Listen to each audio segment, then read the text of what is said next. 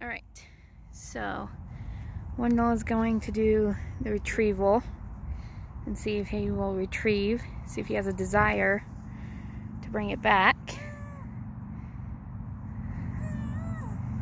Which he's pretty good at. His foster mom said he does like to play fetch, which is good. So there's potential there that he likes to work, you know. But he's just more interested in that dog over there.